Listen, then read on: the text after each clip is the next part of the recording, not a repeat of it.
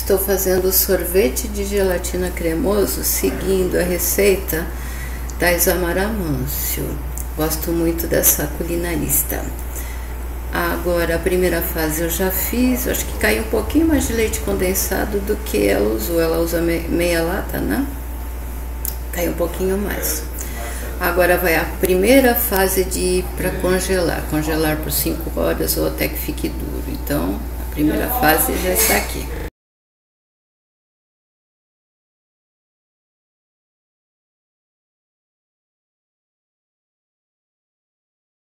Depois de umas três horas, ficou com essa consistência. Para que que eu vou fazer? Vou bater mais. A parte de liquidificador eu fiz com o fouet. Agora a parte que seria a batedeira, ó, eu fiz com essa espátula aqui, ó. Agora eu vou colocar para gelar. Era para bater até dobrar. Cresceu bastante. Não sei se dobrou, mas encheu bastante. Tá valendo. Fiquei mais de 10 minutos batendo. Tá.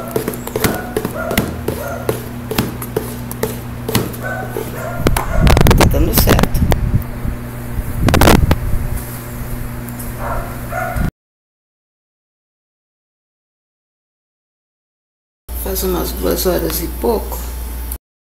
A textura. Hum.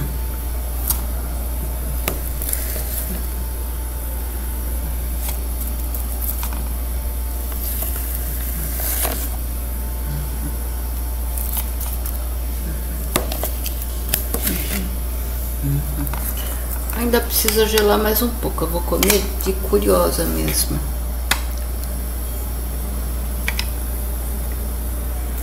Muito bom, gente. Façam porque vale a pena.